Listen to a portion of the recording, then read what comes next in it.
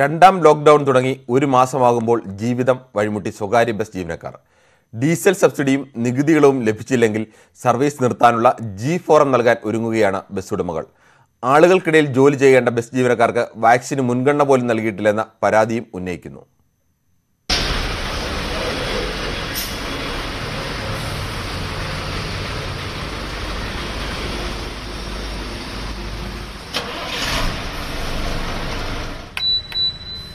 കോഴിക്കോട് തൃശൂർ റൂട്ടിലോടുന്ന ഫ്രണ്ട്ഷിപ്പ് ബസ്സിലെ ഡ്രൈവറാണ് അനൂപ്. ഒന്നിടവിട്ട ദിവസങ്ങളിൽ ബസ് സ്റ്റാർട്ട് ചെയ്ത് മാറ്റിയിടും. ലോക്ക്ഡൗൺ കഴിഞ്ഞാലും ഓടിത്തുടങ്ങാനാകുമോ എന്ന് അനൂപിന് ഒരു പിടിയുമില്ല. ഇരുപത് വർഷമായി ചെയ്യുന്ന ജോലി ഡ്രൈവിംഗ് ആണെങ്കിലും ജീവിക്കാൻ വഴിയോര കച്ചവടമടക്കം പലതും ചെയ്തു നോക്കി. ജീവിതം തുറന്നു പറഞ്ഞോടൊന്നും വിചാരിക്കരുത്. ഇപ്പോൾ ഇതുവരെ ഞാൻ ചെയ്യാത്ത പെണ്ണ പെണ്ണുങ്ങളെ താലി വരെ പണയം വെച്ചിട്ടാണ് ഇപ്പം എന്റെ വീട്ടിലെ കുടുംബം പോറ്റിയത്. സ്വർണം പിന്നെങ്കിലും വാങ്ങാമെന്ന് വിചാരിക്കുക. അപ്പോൾ അവർ രണ്ട് പവന്റെ സ്വർണം ഉണ്ടായിരുന്നു. ബാക്കി എല്ലാം പോയി. അപ്പോൾ അതും വരെ പണയം വെച്ചിട്ടാണ് വീട്ടിലെ ചിലവുകൾ കഴിഞ്ഞു പോണത്. കേരളത്തിലെ ഒരു ലക്ഷത്തോളം സ്വകാര്യ ബസ് ജീവനക്കാർക്കും ഇതുതന്നെയാവും പറയാനുണ്ടാവുക. ആദ്യ ലോക്ക്ഡൗൺ കഴിഞ്ഞപ്പോൾ തന്നെ പന്ത്രണ്ടായിരം ബസ്സുകളിൽ മൂവായിരത്തോളം കട്ടപ്പുറത്തായി. പലതും സർവീസ് അവസാനിപ്പിച്ചു. ബസ്സുടമകൾ ഉടമകൾ പലരും ദിവസക്കൂലിയെങ്കിലും കിട്ടാൻ കണ്ടക്ടറോ ക്ലീനറോ ആയി. തൊഴിലാളി മാത്രമല്ല ഈ ബസ്സിന്റെ ഓണറും കൂടി ഞാൻ തന്നെയായിരുന്നു. കഴിഞ്ഞ ലോക്ക്ഡൗണിന് ശേഷം ഒന്ന് മെച്ചപ്പെട്ടു വരുന്നത് കഴിഞ്ഞ ലോക്ക്ഡൗണിൽ തന്നെ നമുക്ക് തൊഴിലൊന്നുമില്ല. ഞാൻ തൊഴിലൊന്നും ഇല്ലാത്തതുകൊണ്ട് ഞാനും എന്റെ കുറച്ച് തൊഴിലാളികളോട് ഈ പൈനാപ്പിൾ വാങ്ങി കൊടുന്ന് പൈനാപ്പിൾ പോയി തൊടുപുഴ പോയി പൈനാപ്പിൾ കൊടുത്തിട്ട് പൈനാപ്പിൾ കച്ചവടമൊക്കെ കൂടിയായിരുന്നു. അത് കഴിഞ്ഞ് ബസ് ഓടി വന്നപ്പോൾ ഒന്ന് മെച്ചപ്പെട്ട് വരികയായിരുന്നു.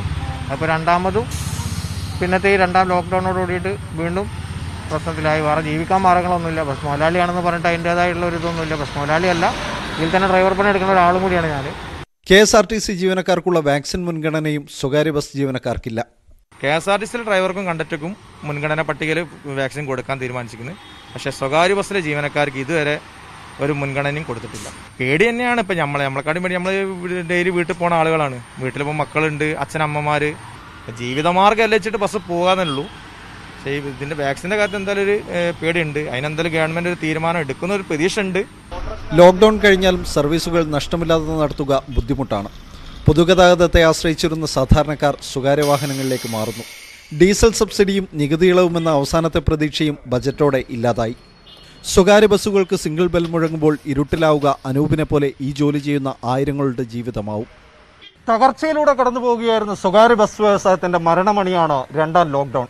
വാക്സിൻ പരിഗണനയടക്കമുള്ള ഇവരുടെ ആവശ്യങ്ങൾ കേട്ടില്ലെങ്കിൽ ഒരു തൊഴിൽ മേഖല തന്നെ സംസ്ഥാനത്ത് നിന്ന് ഇല്ലാതാവും.